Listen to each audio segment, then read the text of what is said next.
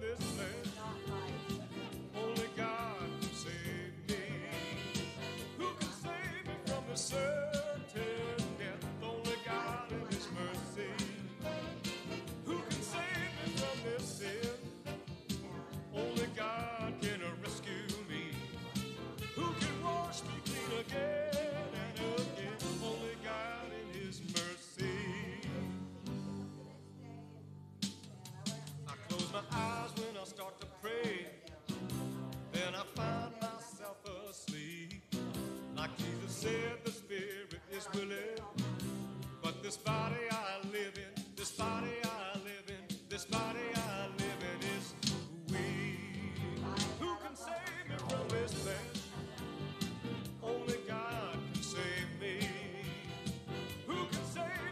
serve.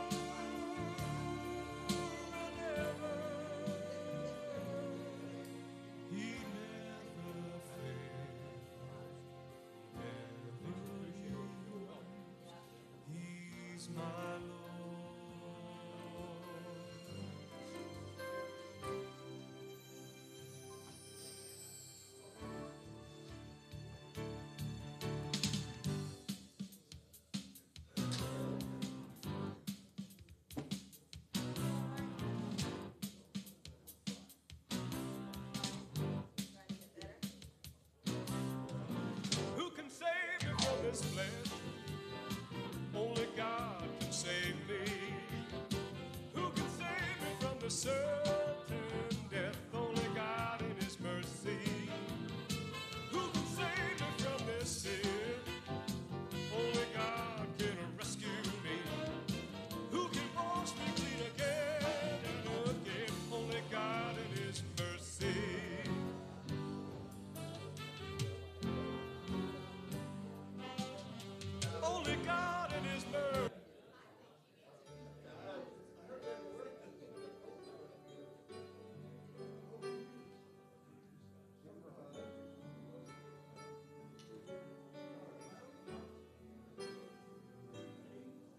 Don't let your hearts be troubled.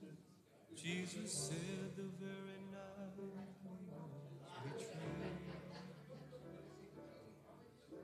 I'm going to prepare your homes, and I'll come back to get you all someday. You know where I'm going. Tom said.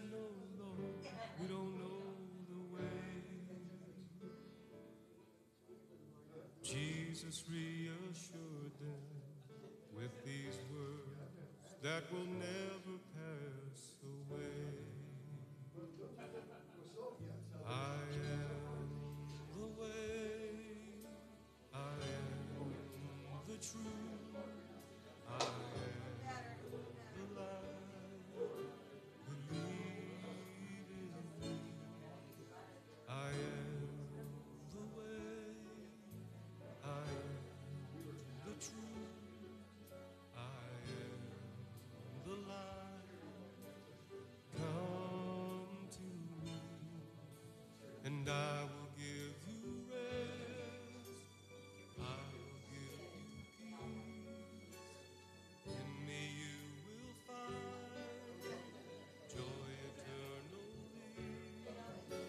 so come as a child with arms open wide, and I will fill your cup faithfully. I am.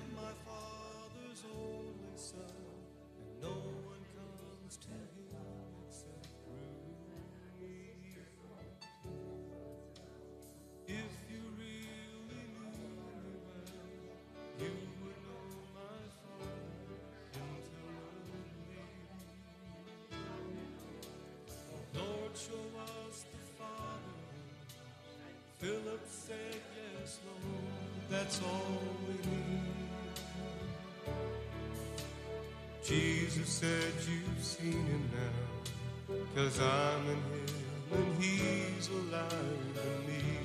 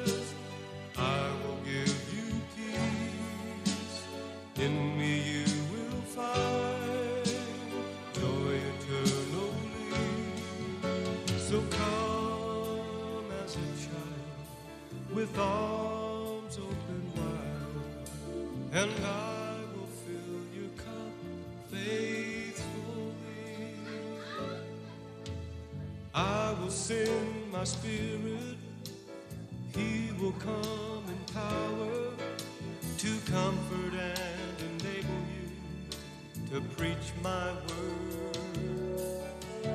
He will lead you in the truth that many won't accept, but you hold on.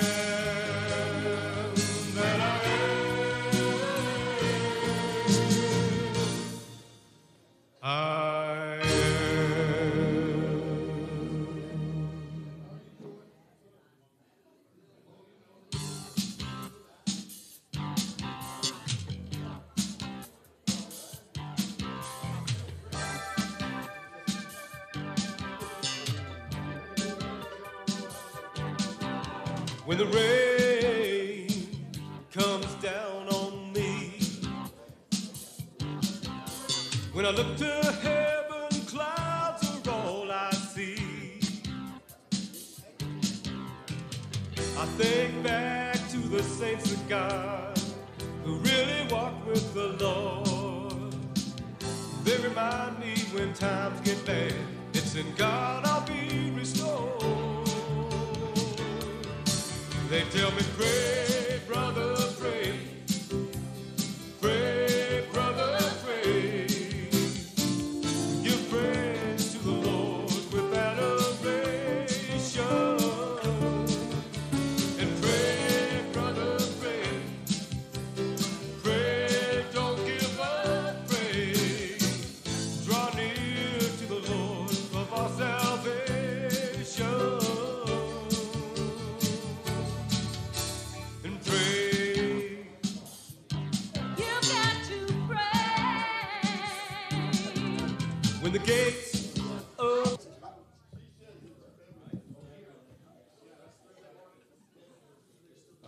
Good morning, guys. Good morning. And Merry Christmas. Merry We still say that around here. Can I also say that Jesus is the reason for the season? Amen. So uh, bless you guys on this foggy uh, Sunday morning, the Sunday before Christmas, right? Countdown begins. Um, anyway, let's, I want to go ahead and get started because we have a lot to do today, uh, a lot of good stuff. Do you mind standing with me? I'm going to open in prayer. We're going to go into the throne room with worship after that. Father, we thank you. Lord, uh, just always aware of the time of the year, Lord, and, and how we, it's funny how we act towards each other during this time of year, how we really should act all year. um, good tidings of great joy and peace to one, with one another, Lord. That's really how we're supposed to be all the time, God. But the truth is, God, we're, we're also supposed to be aware of you. We're supposed to glorify you year round, Lord. It's not just at Christmas time. So I just pray, Lord, next Sunday and the Sunday after that and the Sunday after that, we will indeed sing your praises in this place. We will indeed, God, in fact, as we ramp up for a new year here shortly, Father, may this be the beginning of something new and powerful that you want to do in this place, Father, we pray. We were expecting that, and we are expecting a powerful move of your spirit today, Lord. And we do indeed ask for that. I pray a blessing for each person that's here. I bless those that are still at home, Lord. We know several are still watching from home because they're fighting some kind of virus or illness, Lord. I pray, God, for healing. We believe, God, in your healing virtue. I pray that you would do a powerful move today, Lord, and those that are still struggling, Father. And, and God, uh, more than that, God, we pray that your presence would fall in a manifest way here and in each home, God, that is watching right now. In Jesus' name, have your way in all that's done. And all God's people said, Amen. God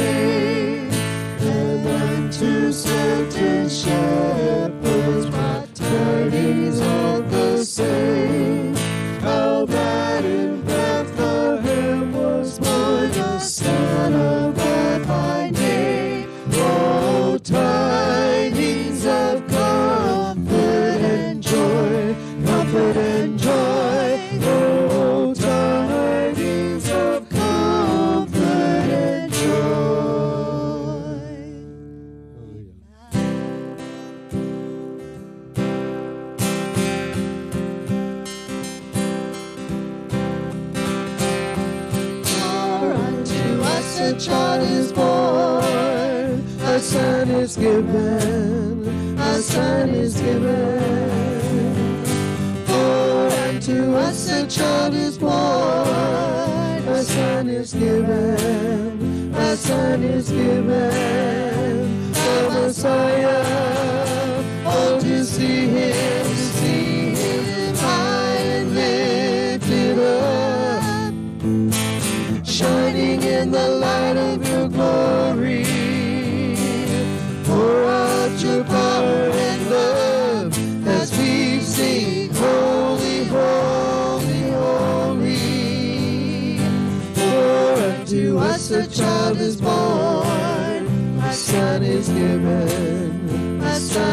Given.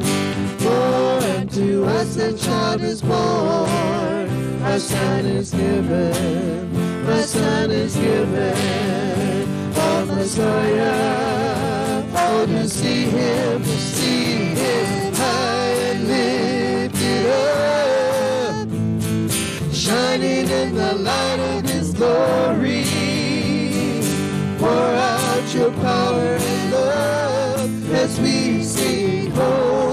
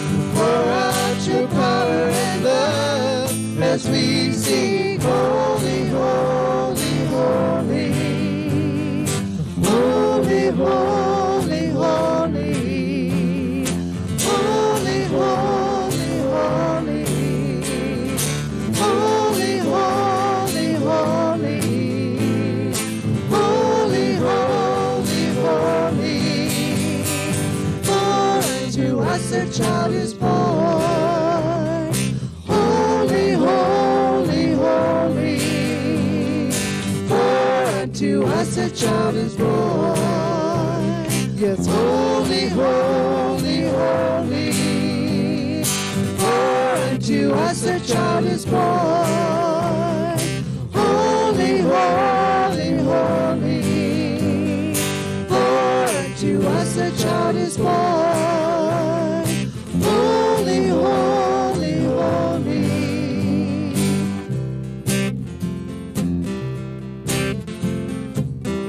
Uh, praise your holy name, our Heavenly Father.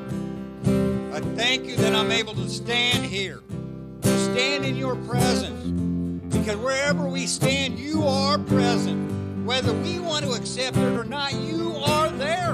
And I pray that we accept that, that we accept your love, that we accept your, instru- your instructions, your guidance, your love, because you gave us your love. This is a season, but we need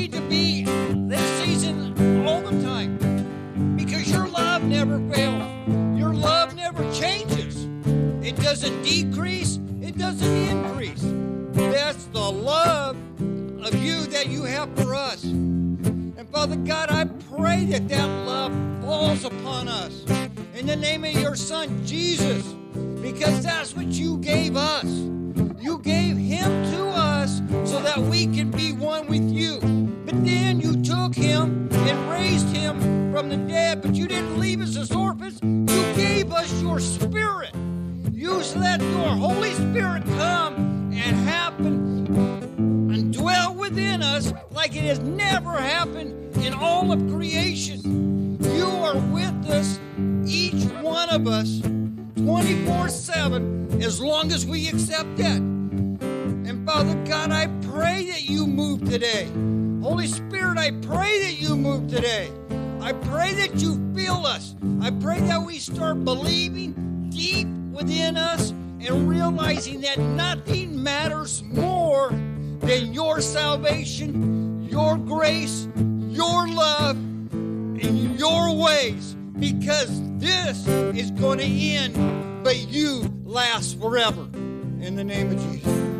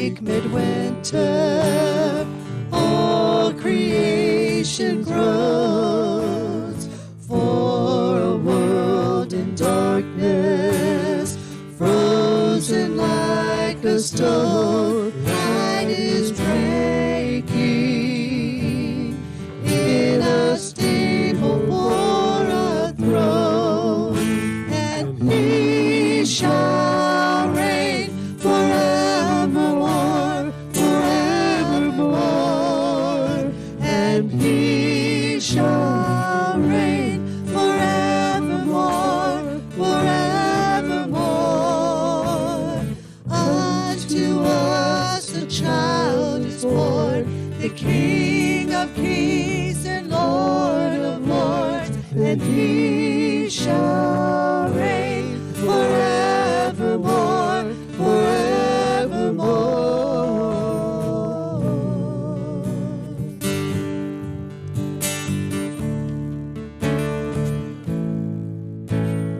If I were a wise man, I would travel far.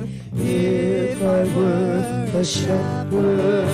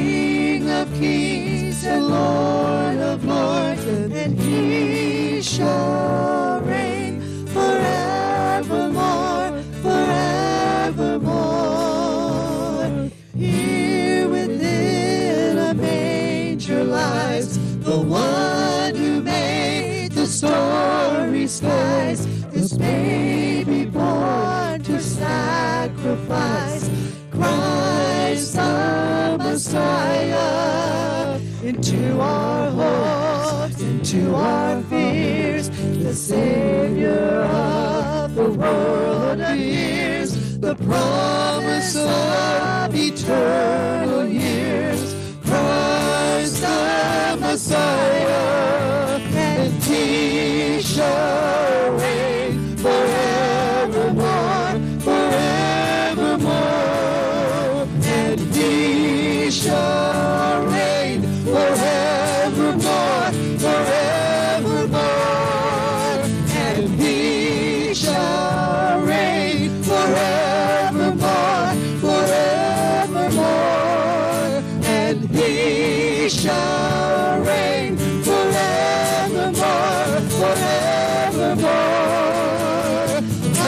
Unto us a child is born, is the King of kings, the Lord of lords, and He shall reign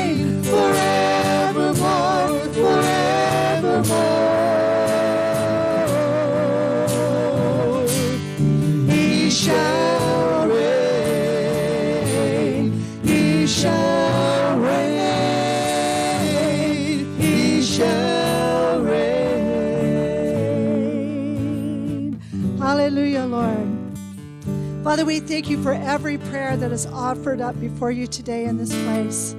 We thank you for every prayer that's offered from our hearts as we worship. Lord, you hear every heart's cry. Father, into our hopes, into our fears, the Savior of the world appears. You have come. You are here with all those who are watching today who are pain, with pain in their bodies, who are looking to you for a miracle, who are looking to you for a breakthrough. Father, together, collectively, I pray, Lord, this we offer up our praise to you in this place that your kingdom comes and your will is done on this earth as it is in heaven. We thank you and we praise you for that, Lord.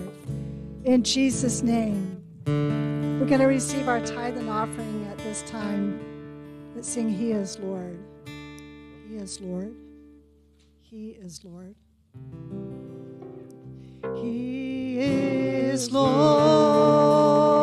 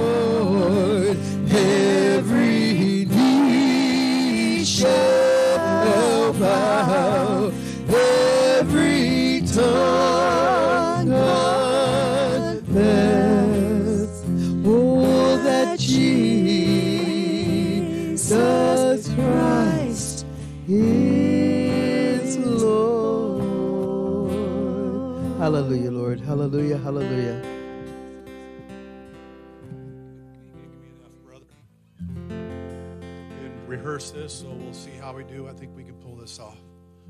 Say it again. Oh, come, let us adore.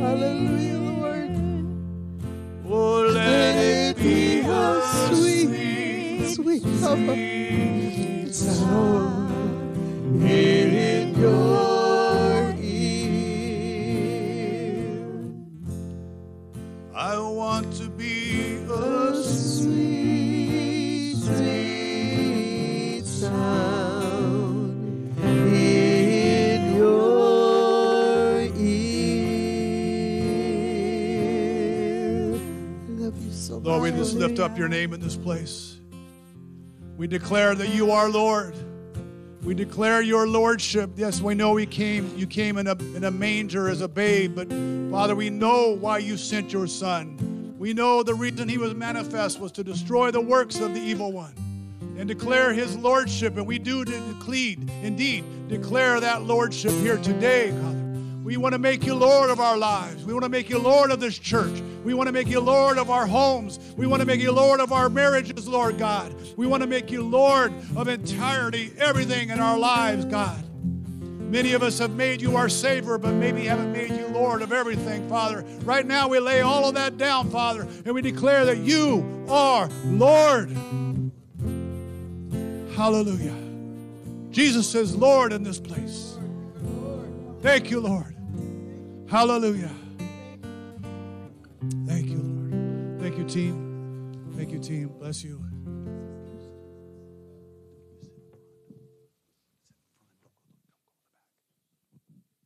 All right, I have a few things I'd like to do before we get started today. We have um, a couple of several different things we want to acknowledge. One is, did you notice a finely dressed gentleman there in the back?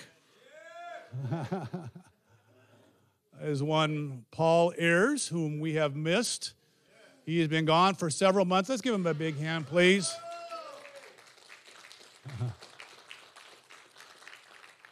he's he, he's he's dressed looking pretty good there, man. He should maybe he should be up here preaching today.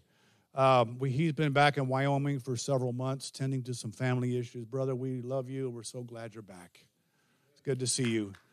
All right. So, at but on the flip side of that, um, we are also losing somebody today, which I was praying against, but apparently it was the Lord's will. Um, and uh, our sister Sarah, raise your hand, Sarah. She, this is her last Sunday here. She will be moving back to Texas to be with her family that moved back there several weeks ago. So I'd like to just acknowledge her. Can you come up, sweetie? She is just this short little thing.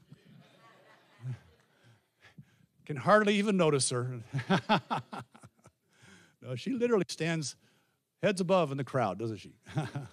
anyway, she has been helping uh, with the sound for, for quite a while, and we really appreciate her. She's quiet, she keeps to herself, but she's very, um, she was very committed, she was very faithful. I want to give her uh, acknowledgement of that today. Can we please give her a hand? And then I also uh, want to, we want to pray for her because she will be moving Wednesday, right, to Texas uh, to join her mother and dad. So can we do that? Father, we just lift up this young lady, Lord. We just bless her, Father. We thank her. We, we do thank her for her service, God, but we thank you, Lord, for what you're doing in her life, God, that you have given her the talents that she has used for you, Lord. I pray, God, that this season, Lord, as it comes to an end here and it begins back there, Lord, we, we know that you are a God of seasons and you are doing something in her life, Lord. Give her a safe journey um, as she travels during the wintertime, Lord. I've made that very journey that she's made to Texas several times, Lord, in my life, and, and I know it can be crazy out there. Lord, I just pray that for safety, I pray, God, that you would be with her all the way, Lord. God, may she be aware of your presence and bless her back there, Lord. I pray that she would be able to get assimilated quickly, Lord, and begin this new season of her life, Father. We just celebrate her today. In Jesus' name, amen. Amen. Thank you. Give her a hug tonight or today on your way out of here, please. She told, I heard about it several weeks ago, and I said, Good, I have time to pray against that demon. And, uh, but apparently it was God's will, so that's all right. We do miss her parents, and now we will miss her uh, as she leaves. So now, um, I, I, um, I, I, thought about how I would present this next part to you, and, and I had a, a big speech prepared, but I just thought I'd share from my heart. And that is any pastor is concerned for his church, and you want, you want it to grow, you want it to th- flourish, you want the spirit to be welcomed into place, and you want to see people's lives changed and, and uh, you have you know you have ideas you have thoughts we have things going nobody plans for a pandemic to hit right and that caught us all by surprise and just changed all of our lives. Really, we have we when we have a new normal, as it were. Many are still watching from home and are in our church, and we became a, a live stream church overnight. I mean, overnight, and I was just. It started out for the first few weeks. My wife and I literally had a tripod and my iPhone in our living room. and we did it that way while we were completely sheltered in place.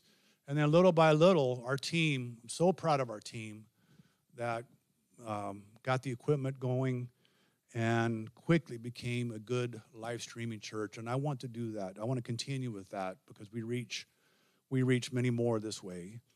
But then now the, the pandemic is, is over, and I know it's still kind of holding on. In fact, a few of us in, our, in this congregation have COVID right now, by the way. So it's not completely gone, still showing its head.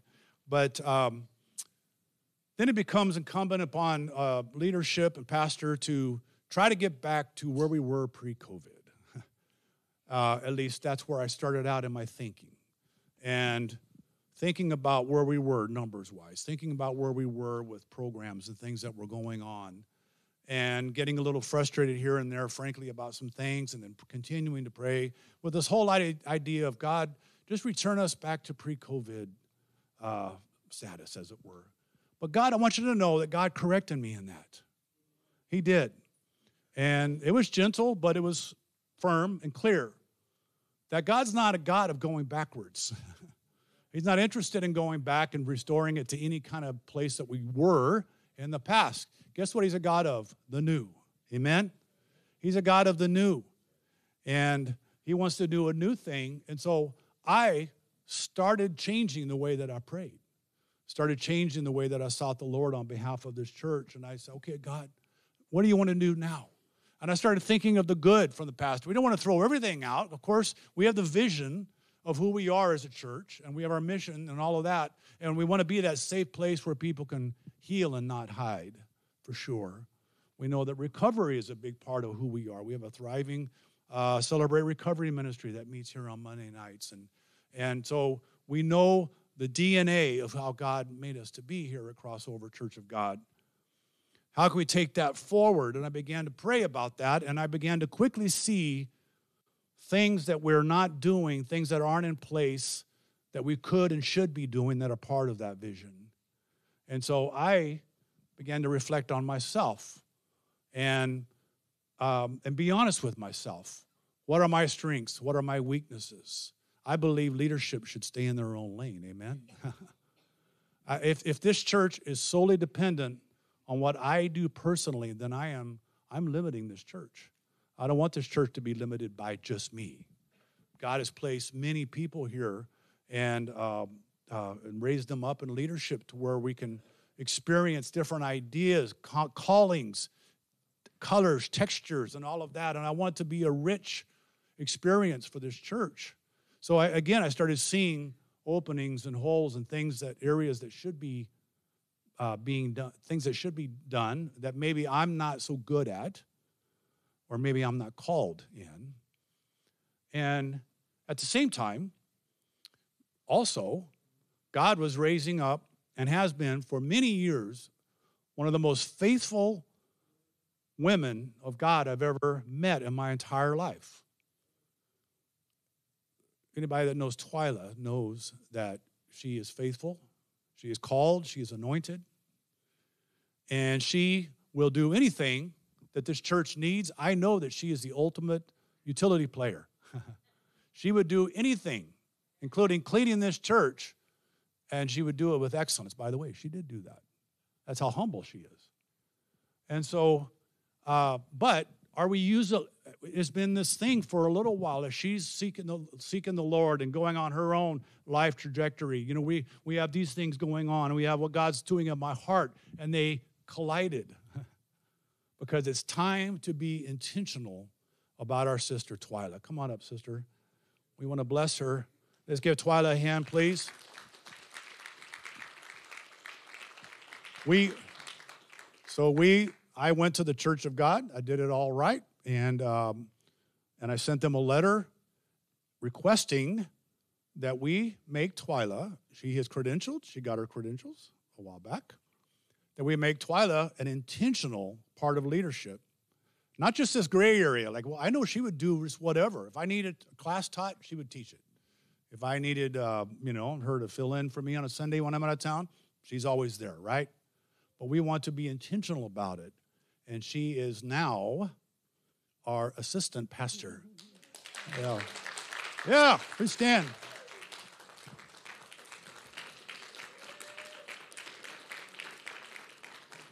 So, and that is that is an official.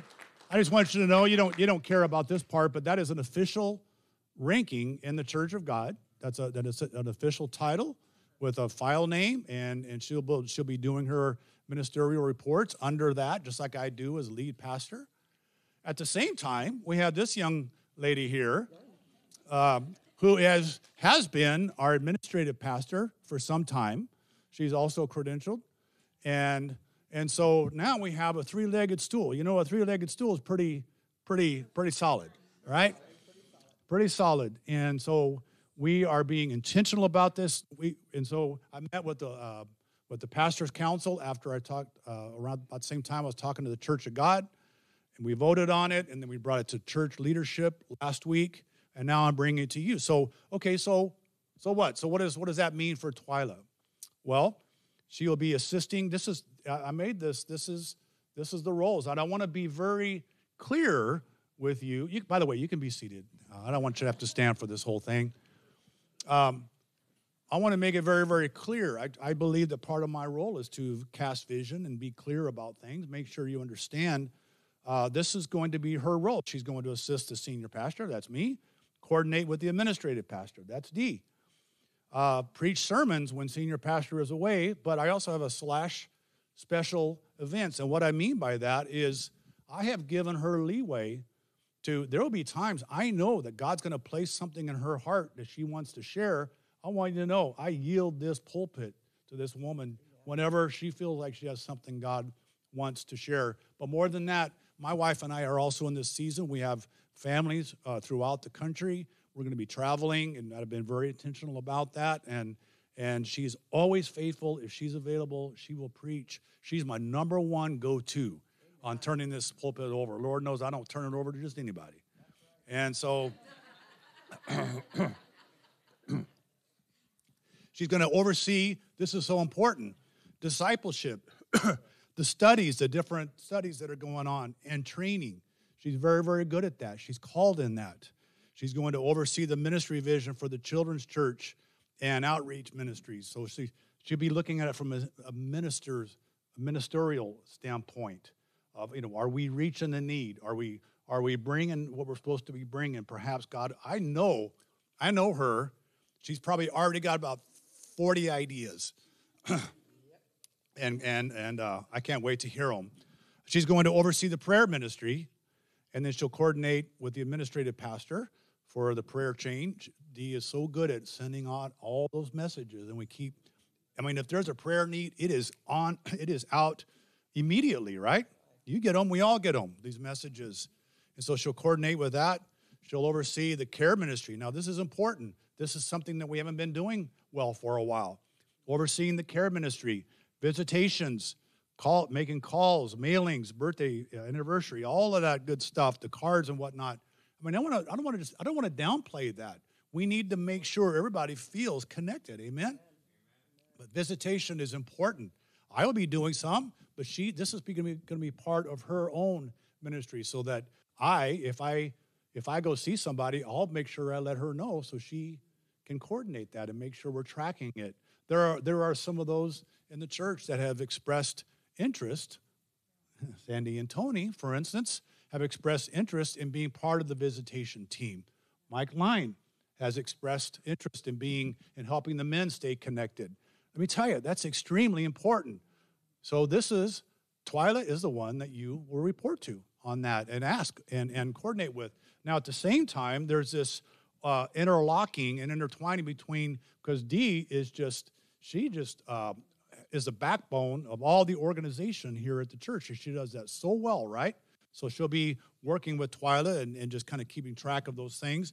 She'll also, Twyla will also collaborate with the senior pastor, that's me, on strategic planning and goal setting. So that's, that's we, what we want to do today is bless Twyla, and we want to pray with her. And now, what I'd like to do is have you come up, and as you're comfortable, uh, give her a handshake or, or um, give her a hug. We're going to have a little chance to love on her a little bit.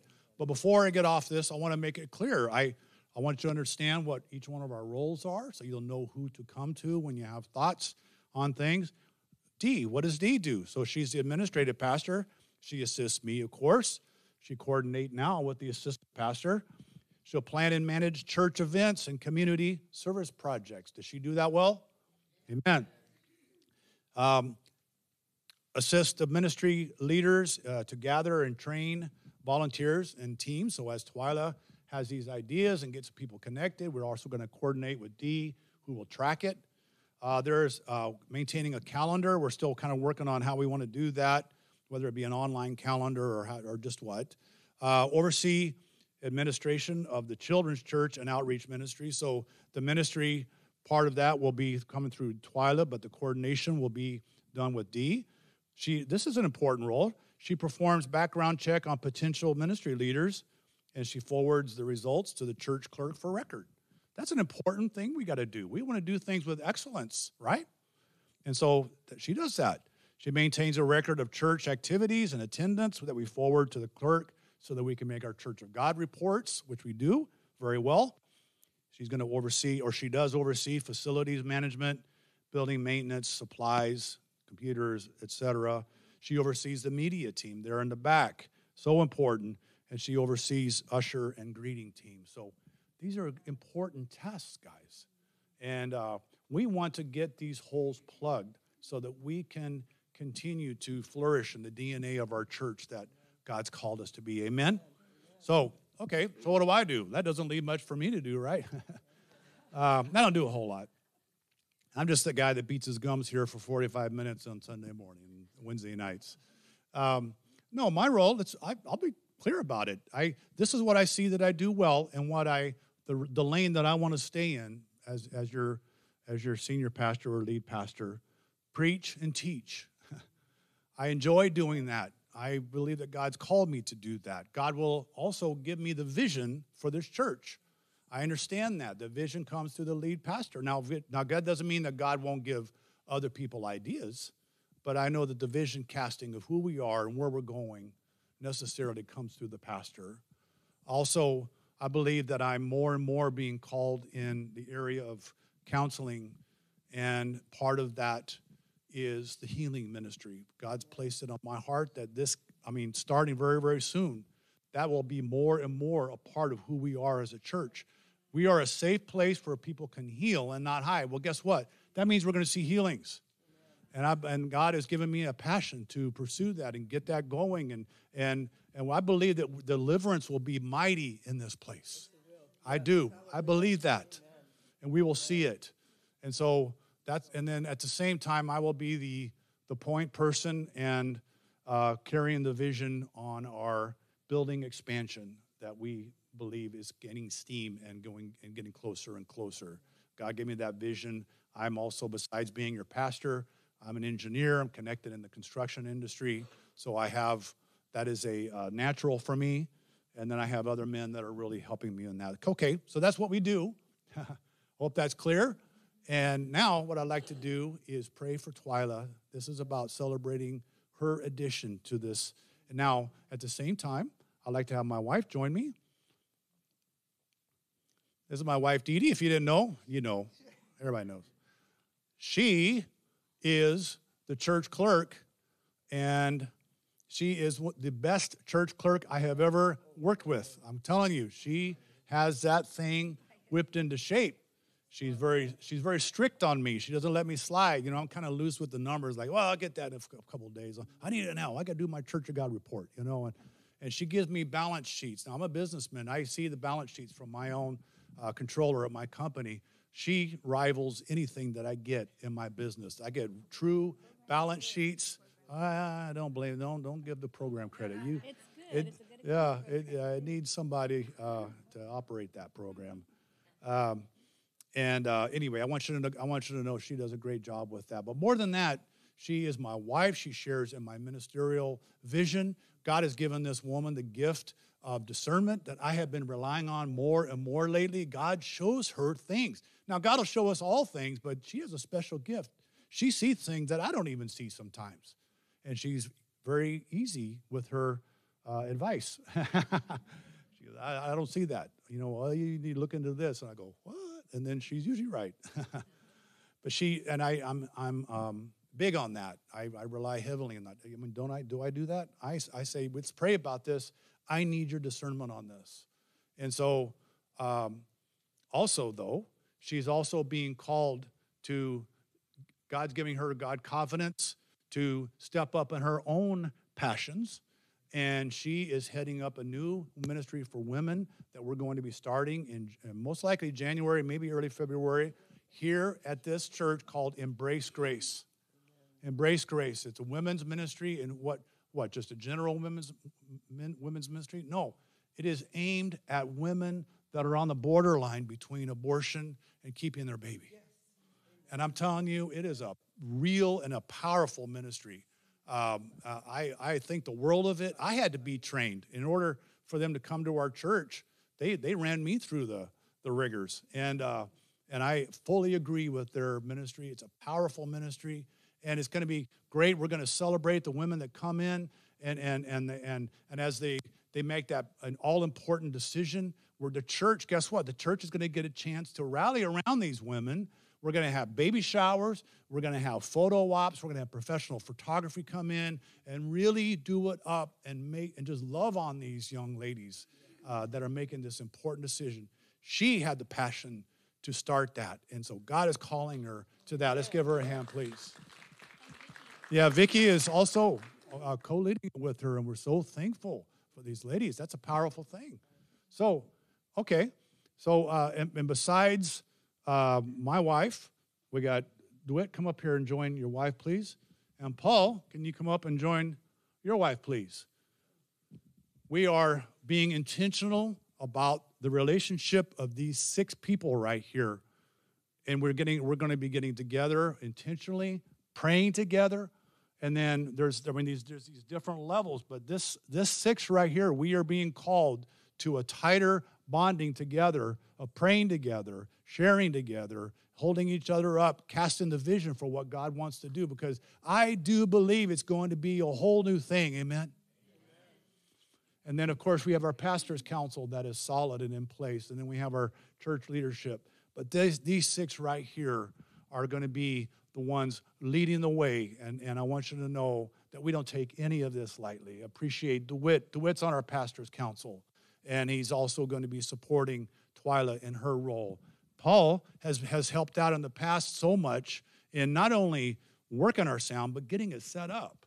And there's nobody more faithful than Paul as far as helping out in a utility player in, a, in his own right. So we're so glad to see you, brother. So glad you're here. So this is us. This is us going forward. Now we want to pray for Twyla. And then what I'd like to do is have you guys come up and just love on her a little bit, and then we'll keep we'll keep rolling. Okay. Let's all gather. We're going to just the six of us here gather around. If you don't mind, just extend your hand out, please, and join us. Father, in Jesus' name, we lift up this woman of God. Father, you have called Twyla. We believe, Lord, for such a time as this.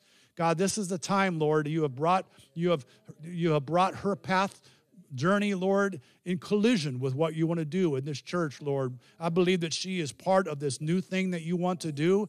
You have given her ideas, you have given her wisdom, you've given her. Uh, uh, a passion, but more than that, God, you've given her a divine anointing, God, of favor, Lord. And I pray that that anointing would be strong going forward, Lord. I pray, God, that you would make it clear, Lord God. Give her favor, Lord, and whatever doors need to be opened, Lord, for these, in order for these ministries and these, uh, these activities, Lord, to be organized in our church, God. I pray, Father, that you would be with her, Lord. Give her physical strength, mental strength, uh, but most of all, spiritual. Uh, uh, uh not only strength, Father, but just acumen, Lord God.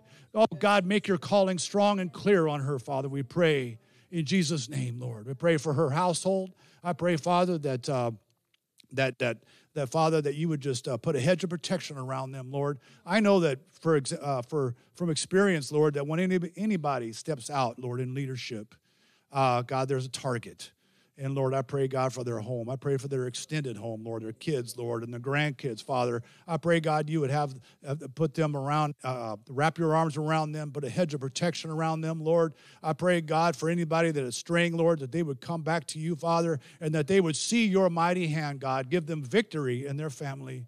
We pray in Jesus' name. Thank you, Lord. Thank you, Lord. Thank you, Lord. Come on up, please. Give her another hand, please. Come on up.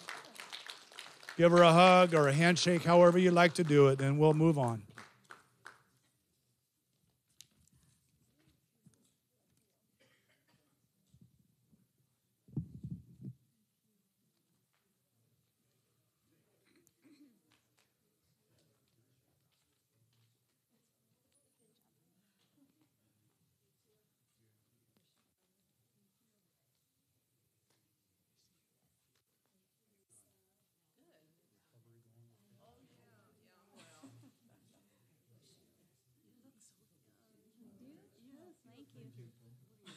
Thank you. Thank you. I'll take it.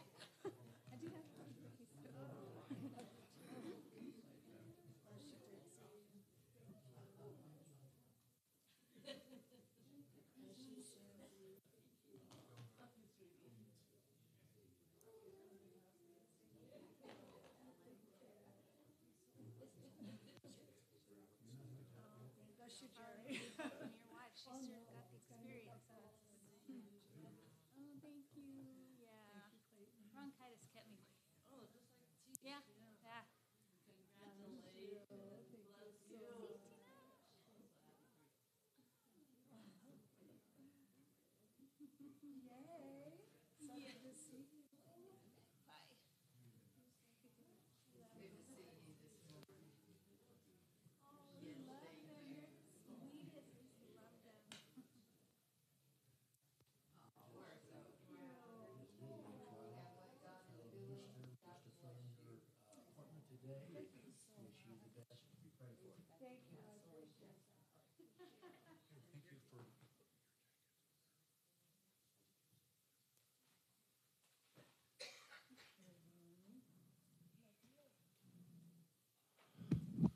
All right, let's move on. Great day. Amen. Such an important announcement today. Kind of a nice time to do it, too, I have to admit, right around Christmas time. All right, so let's just dive right in. Repeat after me, please, on the screen. I open my heart to receive from the Word of God. God's promises are true, and they are true for me. So, indeed, what I'm about to preach is true for you. And part of that, I just want to say, Merry Christmas. Amen. Merry Christmas. And Jesus is the reason for the season. Amen. So, perhaps you've heard of the phrase. You ever heard of the phrase light at the end of the tunnel? Light at the end of the tunnel. You probably heard that before. It indicates it indicates that after a time of waiting and striving, the time of darkness and hardship may be coming to an end, right? It's a time of optimism. It's a phrase of optimism. In other words, a light is starting to appear. It's a beacon of hope, right? I mentioned the pandemic earlier. We saw that in the pandemic, didn't we? I mean, this pandemic hit out of nowhere.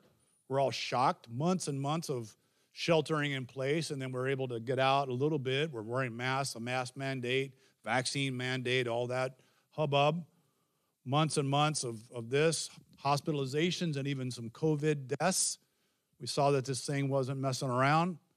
And then we saw the light at the end of the tunnel. We saw things start to change, didn't we? We saw the hospitalization rates begin to be reduced. We saw the infection rates begin to drop. Or another example might be a couple in debt, maybe a falling deeper into debt, and there seems to be no way out, but after some hard budget decisions and some timely, maybe a timely raise in pay, there's suddenly a light at the end of the tunnel, right? Some of the most tragic things that have happened to the human race have lights, have little, have, have stories of optimism and hope, such as the Holocaust, the Jewish Holocaust, the Nazi prison camps. You hear stories of some of the Jewish people that survived that horrific event, and they are asked what may help them survive, and many of them will say what helped them was uh, the hope of a brighter future, right? Maybe perhaps being reunited with their family in some way. The light at the end of the tunnel, it's, a, it's, it's about the light of hope beginning to shine. And because of that light, we suddenly have the ability to embrace the possibility of the impossible. See, that's, you know, that's it. It's not just a, it's not just like we're crossing fingers and going, oh, I wish upon a star like Disney. No, we're hoping. The hope begins to be, uh, start to burn. And all of a sudden, things that seemed unreachable, all of a sudden, maybe reachable. Things we thought impossible, maybe just might be possible. So, why is this hope so important? Well, I just want to submit to you that hope is a lifeline. It's an absolute lifeline. It's what leads us to grow and move forward. Without hope, we die, right? Isn't that true? I mean, we literally, I mean, what's the opposite of hope? The opposite of hope is despair. In fact, the definition of despair is literally the loss of hope. And despair, I don't know how it worked for you, but in my life, despair has done nothing but destroy. Has, destroy, has this despair ever done anything productive? I don't think so. But there's another reason that hope is so important, and it's this, and I, this is a phrase I say periodically. When there is no faith in the future, there is no power in the present. Is that that's a true statement? If there's no faith in the future, there's no power in the present, right? Guys, this is timely, not only because it's Christmas time, but I believe that God is going to indeed start to do a new thing in this place. Did you know that God is not a God of the past? Can I say that again? God is not a God of the past. He doesn't see your best days behind you. Somebody needs to hear me say that again. God does not see your best days behind you. He never said you're done. He never said quit. He never said it's time for despair. In fact, he's quite the opposite. He's because God is a God of hope. He is all about hope. And church, we are called to hope. We are called to power. Power. Bible says in 1 Corinthians 4, the kingdom of God is not a matter of talk, but of what? Power. How are we doing on the power? It's time for power. Amen. It's time for power. It's time to it's not time to give up. It's not time to be negative. It's time to hope in what God has promised and then go after it and fight for it. Amen. But see, here's the thing we will not fight for anything without hope. right? Can you imagine being in the trenches in war with a guy next to you that has no hope? Eh, what's the use? Man, we're going to charge, you know, we're going to charge the enemy, and I'm, I got, you know, the guy next to me that I'm not even sure if he has my back, man. I'm not even sure if he has anything. I don't want to be next to that guy in the trenches, right? Without hope, we're never going to fight for anything. So God wants us to have hope because He wants you to fight for some things in your life. Man, I feel the Spirit just rise up in me as I said that. There are unsaved loved ones that God never told you to stop praying for. There are miracles in your life God never said quit on, and we've quit on. It's time to respark that hope. Amen. God wants us to have hope, so He gives us literally the light of hope. Literally. So today I want to talk to you about the familiar story of the three magi, right? The three magi or the three wise men. We have songs, right? We three kings of Orient are, right? It's those guys. Let's read about it. It's in Matthew 2, and it, and it lends itself to this topic that I'm talking about today. Matthew 2, starting at verse 1, it says, After Jesus was born in Bethlehem in Judea, during the time of King Herod, Magi from the east came to Jerusalem and asked, Where is the one who has been born of the Jews? We saw his star when it rose and have come to worship him. When King Herod heard this was when he heard this, he was disturbed, and all Jerusalem with him. When he had called together all the people's chiefs, or chief priests and teachers of the law, he asked them where the Messiah was to be born. In Bethlehem in Judea, they replied, for this is what the prophet has written. But you, Bethlehem, in the land of Judah, are by no means least among the rulers of Judah, for out of you will come a ruler who will shepherd my people Israel. Then Herod called the Magi secretly and found out from them the exact time the star had appeared. He sent them to Bethlehem and said, Go and search carefully for the child. As soon as you find him, report to me so that I too may go and worship him. We know better. he was not up to any good there, right? After they'd heard the king, excuse me, I didn't think that moved. Thank you. After they had heard the king, they went on their way, and the star that they had seen when it rose went ahead of them until it stopped over the place where the child was. When they saw the star, they were overjoyed. On coming to the house, they saw the child with his mother Mary, and they bowed down and worshiped him. Then they opened their treasures and presented him the gifts of gold, frankincense, and myrrh. And having been warned in a dream not to go back to Herod, they returned to their country by another route. So, the Magi, the wise men, as it were. Have you ever noticed how prominently, though, this is the story of the Magi, and like I said, songs have been written about this, but have you noticed how prominently the star plays a role in this story? Can you show that next graphic there? Four times. If you did, I know you weren't counting, but four times in the story that I just read, the star was mentioned. So I want to offer you a few observations. I'll try to keep it short today. I want to offer you a few observations about this star for this Christmas season and beyond. That's the thing. I don't want to just preach a Christmas message and you know go home and decorate your tree and cook a ham and, and, and enjoy. You know, that's all fine and dandy. But I want to know what's God saying today and beyond. We're about to enter a new year. We're about to start something new at this church. What is God saying here? Well, my first observation about this star, this star is that it was a beacon of hope. It was a beacon of hope. It was a light at the end of the tunnel, in other words. The star appeared in the darkness and shone over the spot, literally over the spot that Jesus was born. That was the point of hope. You ever thought about it that way? The star stopped at the point of hope, the point where light was literally piercing the darkness. So Jesus came, guys, to bring hope that pierces the darkness. That's what Christmas is all about. In fact, the song, the familiar song we sing, Hark the Herald Angels Sing, says, Light and life to all he brings, risen with healing in his wings. Light and life to all he brings. He, he has come to bring light into our darkness. Amen. And healing in his wings. We're at a time of, we're at a season of healing now. That I interrupted our sermon series just today but when uh, this sermon series that we're in right now is called a season of healing, we believe God wants to bring healing. So we say to the Lord, we respond like the prophet that says, Heal me and I will be healed, save me and I will be saved, for you are the one I praise, Lord. In other words, God, when you heal, I'll really be healed. But see, when I try to heal myself, Lord, it's always tainted. It's always tainted. It's always my way. And It's, it's never complete. It's always incomplete. It's always riddled with my own brokenness. But when you heal me, I will be healed. When you save me, I'll really be saved. I can't save myself. Are you kidding?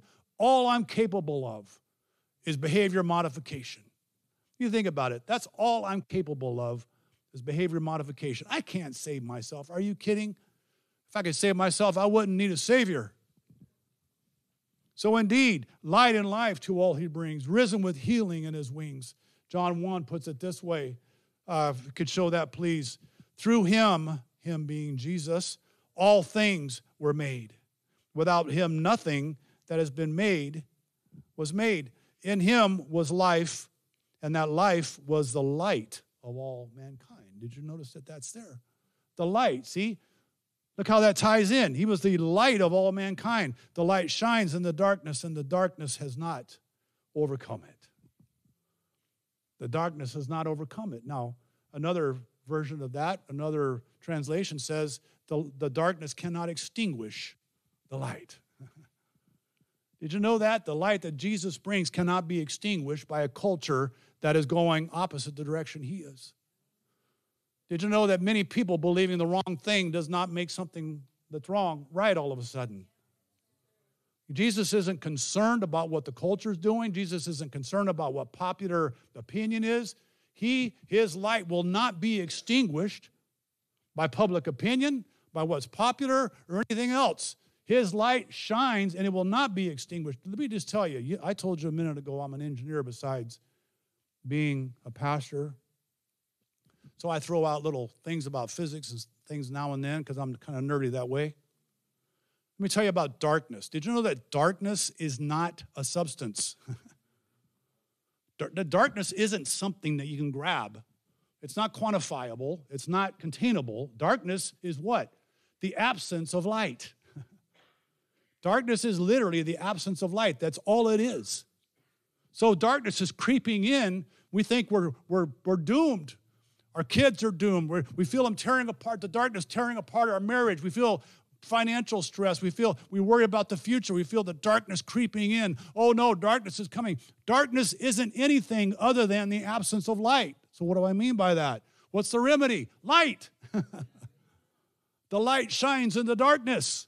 That's all we have to do is look for the beacon of hope, right? The light. Jesus is the light. He wants to breathe, he wants to shine in the darkness of our lives. And later in John, John 8, Jesus identifies himself as the light again. He says, he spoke to the people and he said, I am the light of the world. Whoever follows me will never walk in darkness, but will have the light of life. Praise God. So, what does that mean? Well, get this Jesus gives us light so we don't have to walk in the darkness. That's what that means. I don't want to walk in the darkness. How about you? I did that, tried that, didn't work. A lot of people choosing to walk different ways these days, and it always leads to, to some dark end. I mean, look at how many, how many celebrities have gone, crashed and burned over the, over the years in our lifetime. They reach a place of stardom that they strived for and wanted so badly, and riches and all of that. And we're miserable. And so they just lose their minds and they do all kinds of crazy things, or even worse. And you think, wow, how could that have happened? Well, because can you imagine thinking that that was what it was all about? And if they could, if I could just have this, if I could just have that, then I will arrive as if there's some kind of place of arrival. And they get it and they realize they're just as miserable then as they were before. How utterly depressing that would be. I think I might start drinking or doing something, man, if I had if that's all I had. See, that's the thing, because we don't have the remedy. We cannot change anything in our lives other than our behavior. Jesus is the one that brings us light so that we don't have to walk in that darkness anymore. Let me tell you, I you guys know my story, but I grew up in this church. Literally, I came here when I was seven years old, and I'm 58 now. That's a long time. I could say that's all I know. Well, that's all right. I love this church. I go to other churches, I see what other people are doing, but you know what? I want to know what, what's God doing at this church. And I've seen, and I've seen a lot of things over the years, and I tell you what, I could I grew up, I could even mimic ministers. I can do their whole mannerisms and all of that, man. You know that I don't know, for some reason, ministers do this when they're all standing around together, you know, and oh, Lord, you know, they do that kind of stuff. And, you know, they get their necktie too tight, you know, and they get all puffy and, and all that. You know, I could, I, I've seen it all, I've heard it all. But you know what? Growing up in a church and being the pastor's son makes me no more a Christian than being in a garage makes me a car. See, I came to a place where my whole life came to a crashing in because I thought that I, I knew better. I thought I could make my own way. So I tried God and this, God and partying, God and the booze, God and all of these other things. And guess what? It all came to a crashing halt. And I realized then and then, on night, I'll tell you exactly when it was. It was in March of 1998 when I was on my way to my first rehab meeting. And I had realized I had lost everything. And I was even suicidal. I even, I even thought about stopping and stepping out into traffic. I really did. Because of the gravity of the situation. And I realized that I had no way. I, my heart was pounding so, so hard in my chest. You ever be able to look down at your shirt and see your heart pound? Literally, you can see it. It was literally going like this. Such panic, the gravity of the situation was on me. I lost everything. I couldn't even see my own daughters. And the gravity of all I called out right there in my truck. And I said this I said, God, all my life I have known of you. See, knowing of God and knowing God are two different things. I'm going to tell you that right now. Knowing of God means I know of Him, but I'm still walking in the darkness. I'm still trying to do it my own way. And you know what? I came to a place where I was literally ready to step out into traffic to end it all. That's what that got me. And I said, All my life I've known of you, Lord. If you're real, I need you now more than ever. and it was as if He said to me, That's all I've been waiting for you to say. That moment, my life changed. That moment, I made the decision to turn my life and my will over to the care of God who loved me and had a better way for me, see? And then all of a sudden, it was real for me. And it wasn't just a bunch of Sunday school stuff. I made it mine. And all of a sudden, all of that darkness, guess what happened? The light of heaven penetrated. And see, the darkness cannot extinguish it. My life has been different ever since that day. Ever since that day.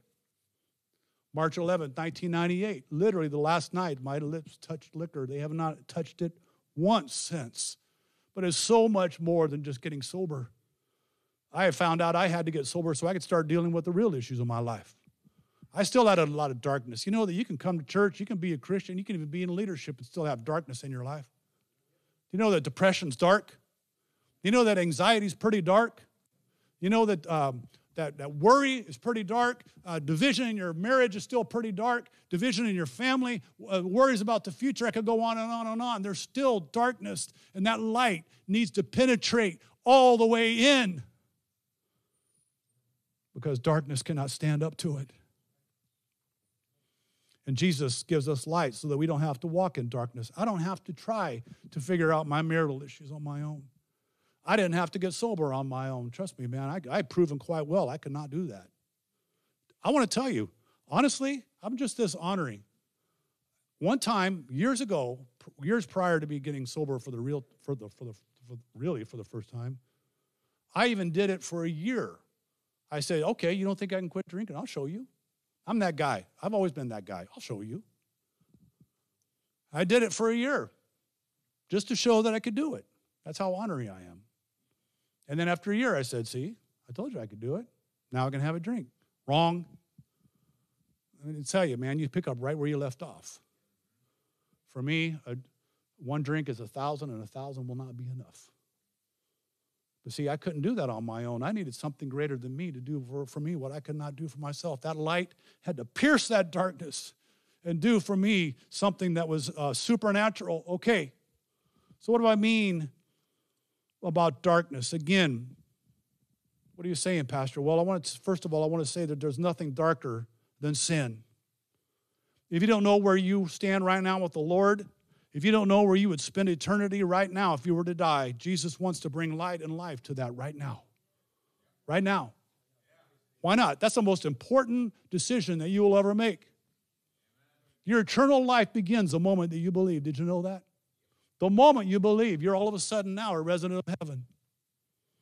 Look what it says in, in Romans about the subject. It says, For the wages of sin is death. That means a payoff. But the free gift of God is eternal life through Christ Jesus our Lord. 1 John 1 9 says it this way If we confess our sins, he is faithful and just and will forgive us our sins and what? Purify us from all unrighteousness. In other words, the light will pierce the darkness. Amen. I just submit to you what better day than today to take him up on his free gift and let that light shine into the darkness of our hearts, see? And as you can see, there's God's part and then there's our part. Jesus said, remember what Jesus said? Uh, he said, Whoever follows me will never walk in darkness, but will have the light of life. Get that. The follow the, the follows me, those two words, that indicates a choice, doesn't it? Why not make the choice today, this, this Christmas season? What, a, what an awesome time to change your eternity. Amen. I'm going to give you a chance at the end here in just a few minutes. But I want to move on. Because what do we do with this gift? Well, we confess, yes, we just said that, but we also believe and receive. Look what also it also says in John 1. The true light, notice that, the true light that gives light to everyone, was coming into the world. That's Jesus coming down and taking human form. He was in the world, and though the world was made through him, the world did not recognize him. He came to which that which was his own, but his own did not recognize. And that's that's talking about how he came to the Jews first, and then the idea was that, that they would go to the rest of the world. They did not recognize him, yet to all who did receive him, to those who believed in his name, he gave the right to become children of God. Children not born of natural descent, nor of human decision or of a husband's will, but what? Born of God. Get that? Believe and receive. Believe and receive. That's our part. Believe and receive. And I would, I would add to that, I would say, believe and receive while there is time. Look what Jesus said in John 12. Then Jesus told them, You are going to have the light just for a little while longer. Walk while you have the light before darkness overtakes you. Did you know that darkness, you know that Satan is not satisfied at plateauing with you? He is out to do what? Steal, kill, and destroy. He wants to overtake you. Remember the words that Jesus said to Peter. He says, Simon, Simon, this is before he changed his name to, to Peter, which means rock. He says, Satan has requested to sift you like wheat. Man, that means he's going to throw up in the air and just and have this thing, and then whatever whatever gets blown in the wind is the chaff that was, and then wherever falls down. And you know, Satan wants to do that with you. He wants to find out what you're made of. He wants to overtake you. But Jesus said this whoever walks in the dark does not know where they are going. Boy, I can vouch for that. Oh, I thought I knew. Believe in the light while you have the light, so that you may become children of light. Believe in the light while you have the light, so that you may become children of light. Believe and receive, guys, while there is time. Okay, second observation about the star. I want to point out to you real quickly that God, God placed this star of hope. God placed this star. You notice that in the text that we read in Matthew, it said the star rose into place. You could say, well, okay, well, the star rose into place. Well, I don't want to get all nerded out here on you, but stars don't rise. Did you know that? There's this thing called Earth's rotation. Can I show you a little? Can we give a little science corner here? Notice the Earth is on an axis that's 23.5 degree axis, axis and the earth is rotating. Get that. Did you know that the earth rotates at 1,000 miles an hour at the equator? A little factoid means nothing to this, to this message. I think that's pretty cool. 1,000 miles an hour. Why don't I just spin into space then, Pastor? Well, that's gravity. Gravity is your friend. gravity keeps you on the, uh, with your feet on the ground. Okay, well, what's my point? Well, the earth is rotating.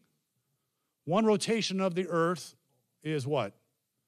A day, right? It's rotating. And so as the earth rotates, guess what? The stars and the sun appear to rise. You know, we say sunrise and sun sunset. The sun doesn't go anywhere. In fact, you know, right on your parade there, it's the earth that's moving and it makes it look like the sun is. Well, okay, so what is this? A science lesson? No, the point is, is that they're stationary. It's the rotation of the earth that makes the stars move in the sky. So you could say, well, okay, Pastor, then that's it. It was the Earth's rotation that made the star appear above Jesus. But remember, it said these three magi saw the star rise to where? To the place above Jesus' manger. the Earth's diameter is so large that we can't see the rotation with our naked eye. Has anybody seen the Earth rotate? I just want to know. When you go outside, do you see the Earth rotate? Like, whoa, I'm getting dizzy from all this rotation right? You don't see it. It just happens. You just go out and the stars are in the sky, right? By the time it's dark, you see the sky, uh, the stars. You don't see them moving. I just submit to you that God made this star rise into place. Because also notice in the story it says, after they had heard the king, they went on their way, and the star that they had seen when it rose went ahead of them till it stopped over a place, over the place where the child was. Stars don't do that. You get what I'm saying? Unless there's a greater power at work here. The star went ahead of them and stopped literally above Jesus. So, so much for the theory that it was the Earth's rotation. I just submit to you guys that God placed this star of hope and He moved it as He saw fit. Okay, so what's the point? Well, the point is that God can use whatever means He deems necessary to bring you hope. Let me tell you, He can do it. We saw recently, we studied the idea that Jesus changed water to wine. I mean, and I, and I got a little nerdy on that one too. I, he didn't he didn't just put food coloring in it and, and get some wine flavoring or something when nobody was looking. He changed it at a molecular level. At a molecular level, he instantly changed water to wine. He can change the state of anything in your life. He can do whatever he wants. Amen. So let's say this nice this next phrase really quickly here. I'm getting close to ending. God can do whatever he wants to bring light to your dark situation. Amen. He can do whatever he wants. And he will if we would trust him. Trust him. Don't give up. Praise God. Last observation about the star God placed this star to lead them to his son. I mean, don't let the obvious be too obvious. We got to get that. He wasn't just leading them randomly. Where was he leading them? Hey, here's my son. Let's look at this the neon arrow pointing downward. Here it is. X marks the spot, right? The star stopped right above Jesus for one reason so that the Magi, the wise men, would find Jesus in the darkness. See, if it wasn't dark, they wouldn't need a star, right? God would have used another way, but it was dark.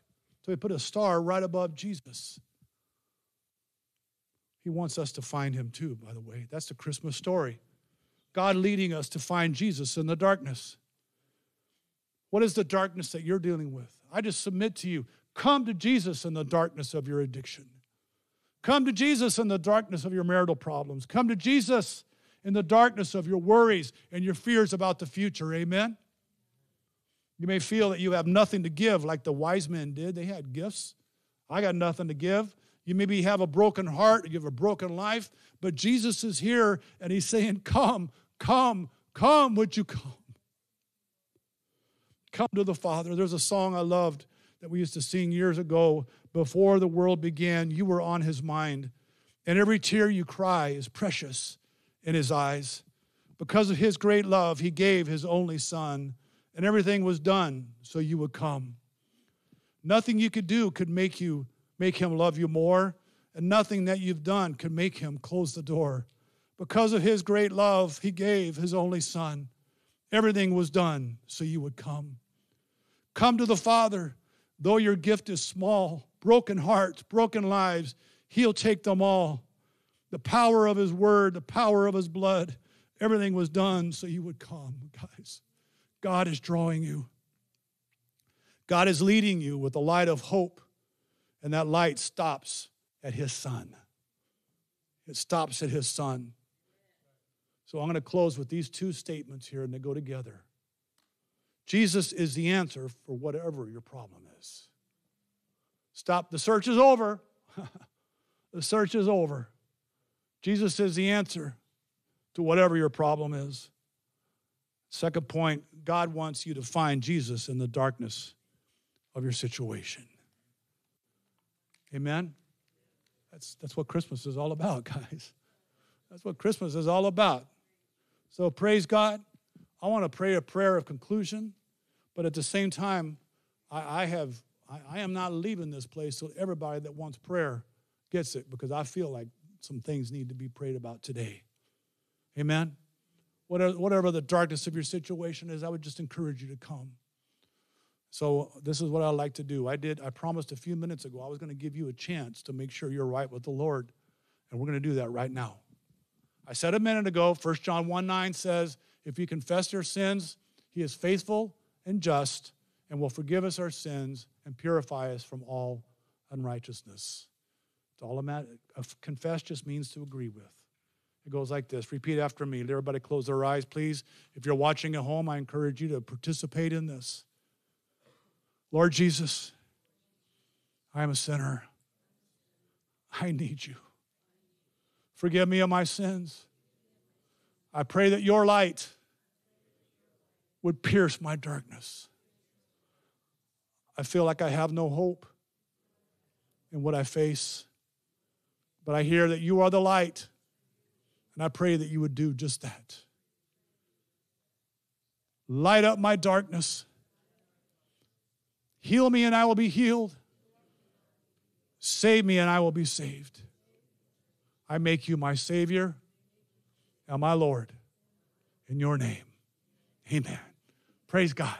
That's it. Bible says that all of heaven rejoices when one person comes to the saving knowledge of Jesus Christ. Amen. Amen. Now let me pray a, a general prayer of closure, and then I like to pray with you. If you'd like to come up, I'll ask my wife to join me. We'll pray with you. Father, we thank you, Lord, for this season. We thank you for this message of hope today that we received.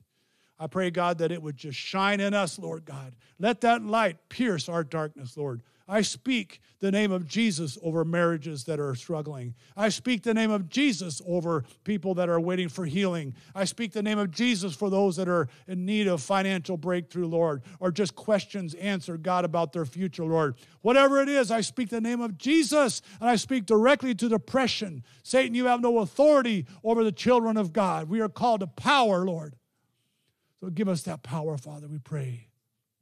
And be with us, Lord, as we go our ways, Father, in Jesus' name. Amen. Bless you. I went about five minutes over. I usually shoot for about 11, 15. Be sure to put that on your time card. We'll get you paid overtime. So bless you. But I'm not leaving. If you like to pray, please come on up.